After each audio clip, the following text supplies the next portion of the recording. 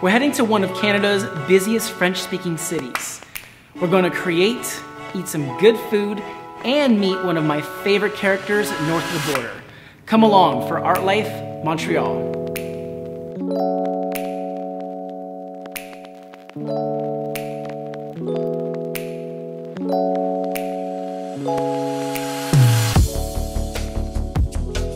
Thank you so much for watching. Just a few things before we get started. Hit that subscribe and that like button so you don't miss any future episodes. Also, leave a comment below, let me know what's on your mind, and I'll personally read and respond. And enter to win one of my original paintings. Text ArtLife to 58885. Now, let's get into this Art Life episode.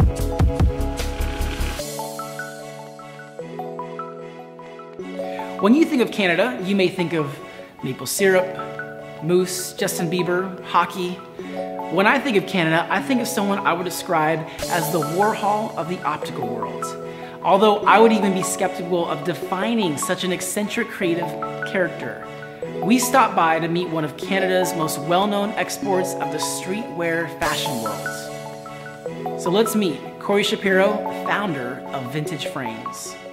So we just walked in, I'm already in optical heaven right now. Obviously, I'm a, I wear my glasses. These are a prescription, and uh, it's pretty incredible what uh, Corey has built here with vintage frames.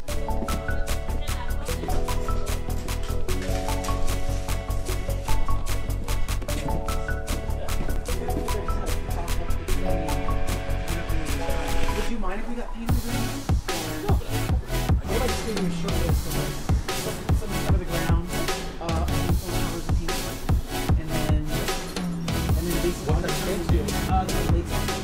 here at the Vintage Frames headquarters of Corey. The infamous. C'est là que ça change pas, je la donne. Oh, these are free? This is how we. Uh, You know what these are for? Yeah. when you masturbate a lot. This is to make sure that. Hey, So maybe you need okay, it. I'm gonna top you up. You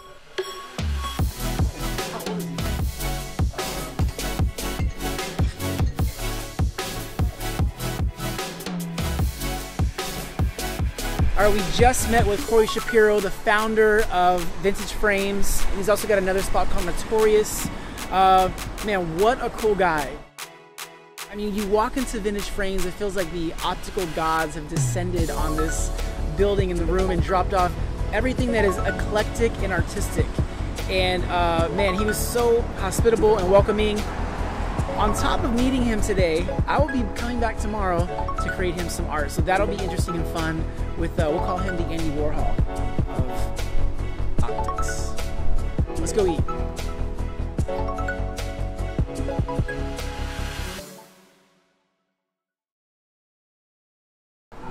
So I asked Corey Shapiro, where should we eat? What is unique to here in Montreal?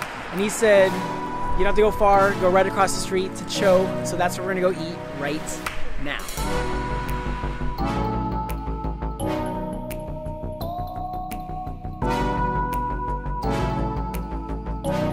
Uh, Corey from across the street sent us here. He's like, you gotta, you gotta eat here. He's like, you've never been here before. Yes! Oh, I'm so about this. I'm so about this. Three pieces, twenty dollars, but I don't think they need much more after that. What'd you order? We pretty much ordered almost every bao on the menu, uh, which I'm totally cool with. They How did said, that make you feel? they, they said that we ordered that we would have ordered too many baos, but I'm up for the challenge. Let's see if we can eat the whole bao menu. Let's see.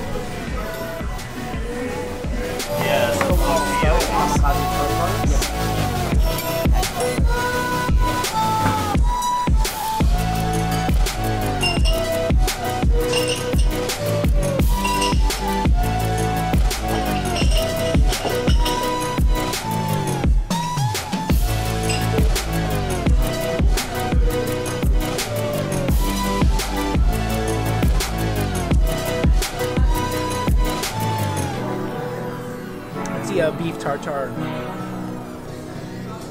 Another another great dish here.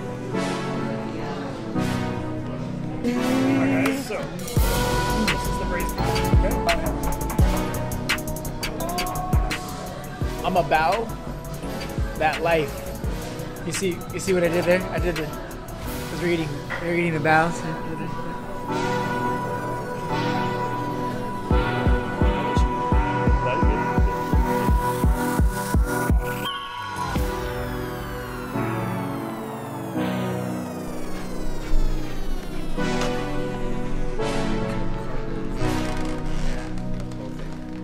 So we are here with Corey Shapiro, Vintage Frames. Woo! That's what's up. The, you, it- the, the energy is infectious here. Like, It's I mean, how would uh, you describe like how you even, you know, who you are? I don't know, man. I just, I, you know, the only thing I think my dad ever said to me that made, not that he's a bad person, he's not. He's very involved in my life, so it shouldn't come out wrong. But um, the only thing he ever really said to me that was like, you know, um, kind of resonated all the time was, you know, do you want to be, you know, right or do you want to be happy? And I was like, well, fuck. You know, I'm usually never right, so let's work on you know, being happy. So we, did, you know, I designed this like company around um, being able to come to work and being excited about whatever the fuck we do. And um, some days we don't know what we're doing, or some days we do. And but it's just you know when we walk into this environment, this is our environment, and um, we're happy with whatever is. Yeah. And we just you know like to create things, and we've been able to express our artistic side through art, through our lenses and through our frames and stuff like that. When we're not technical and drawing and all that type of stuff, so we've created a world where we can express our art through the ways where we are uh, capable with our respective motor skills. You know, I'm always curious. So I'm from Sacramento, California. Like what I do is very different from where I'm from. Mhm. Usually, people paint landscapes and Yeah. trees and water. Yeah. And so, part of my environment that inspired me was I've got to make my own way. Mhm. And so that's Me how I kind of ended up as an individual. How do you feel like Montreal inspired your journey in any way? Um, you know, Montreal has a lot of adversity, diversity, but adversity. It's a hard city to make it, and you know we use it as a home base because the quality of life is uncomparable to anywhere else. To live here the way I want to live, well, besides the snow. yeah, snow sucks, but you know it's cool if you have, like to do things with snow. That's true. But um, yeah, we just figured a cool way to do things. What's up, Mario? You're good. Um, yeah, just kind of living life. So uh, yesterday, based on our conversations, I think we thought of something to Yes. create. We're not going to tell you. You're going to have to watch it. Yes. But it, I think it just goes to show like who he is. You know, the man behind the lens and the frames, and I think it's uh, you know a testament to like what your dad Yeah, said. Do you want to be happy or do you want to be right? Just want to be happy. So let's go create something. Let's do this. Let's go. Yesterday, Corey and I had a, a creative meeting of the minds. It was uh, it was pretty crazy, pretty cool. But uh, with that said, now there's a blank canvas behind me. I am ready to paint, and uh, we're gonna create something inspired by Corey and his art life. Let's go!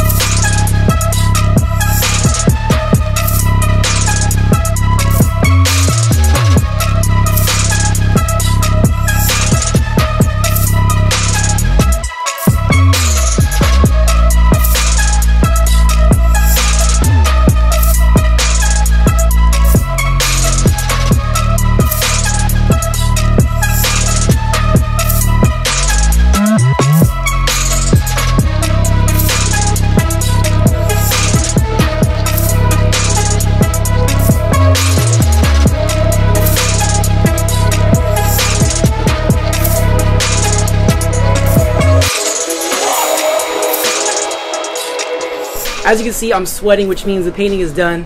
So Corey, who is this? Who is this? This is, this is my, this is my little boy. I almost started crying when you were doing it. this is my this is my little boy, Cash. The Abbott. So we got one down, One down, one to go. one to go. Man, my kids have like regular school portraits. He's got pop portraits. Yeah, you know, That's pretty dope. we're all pretty dope. we're all, we're all different. Maybe one day I'll draw a picture of your kid. I yeah. Please don't. Please don't, please don't do that. All right.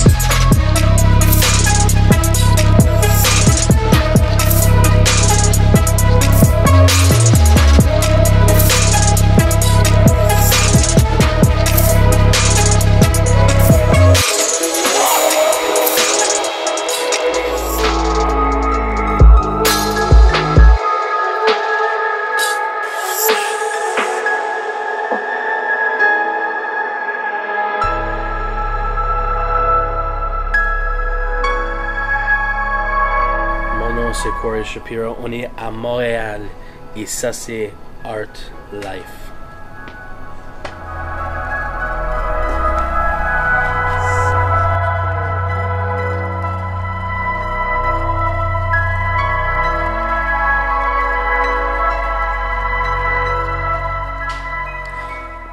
I think it's pretty safe to say that creators come in all shapes and forms and come from all parts of the world. The one thing that we bond together on is that we want to get ideas from our heads and our hearts out into this world. It's like that for classes. And it's still gangster. It really felt like just two artists getting together and creating in our own respective forms.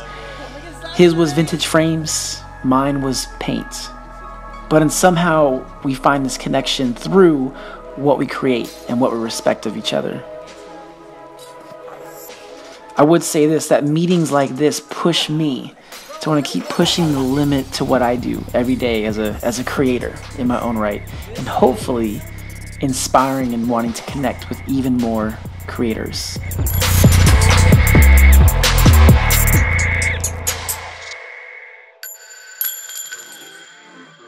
This was such an exciting experience here in Montreal. I mean, not only did we get to connect with the creator, we got to eat some good food, but now it's time to perform.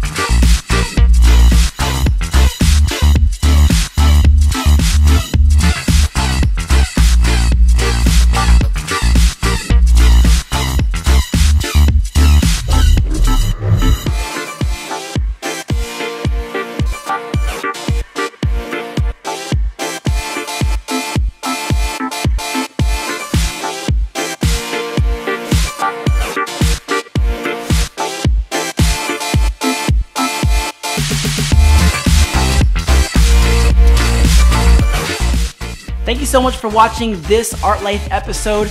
I'm David Garibaldi. If you want to see some more, be sure to hit that subscribe button, or you can always hit the like button here on this page. Here at Art Life, we always live by one rule, and that is that life is for living.